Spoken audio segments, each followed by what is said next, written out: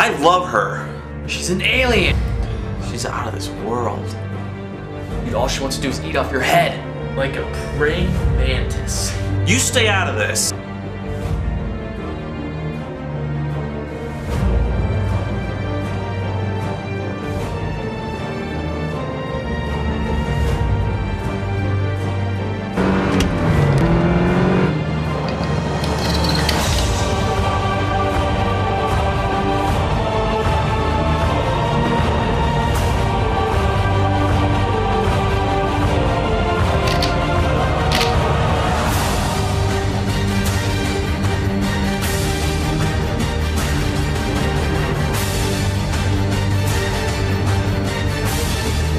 You want me to do what?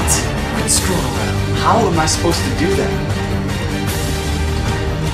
How much time do you have? Not enough.